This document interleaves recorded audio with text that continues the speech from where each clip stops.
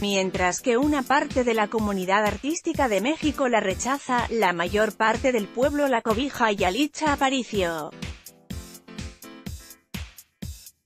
Foto, Getty Images for Netflix Desde que Yalitza Aparicio obtuvo el reconocimiento mundial debido al éxito cinematográfico de Roma en la pupila de los críticos. Son muchos los artistas que han reconocido su talento y han querido inmortalizar su esencia a través de otras manifestaciones artísticas, dibujos, pinturas y murales se han hecho en su nombre, aún a pesar de la envidia de otros artistas que como Sergio Goyri la rechazan por no tener un nombre conocido, o una carrera previa como actriz.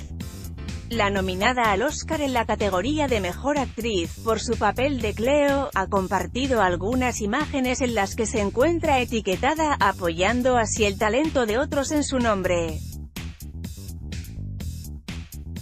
Aparicio ahora también cuenta con el aprecio de un artista callejero que llevó el rostro de la actriz al pavimento de una calle de la Ciudad de México. La imagen de Yalitza ahora se puede ver también en entre la avenida Cuauhtémoc y Viaducto, según reportó el portal Infobae.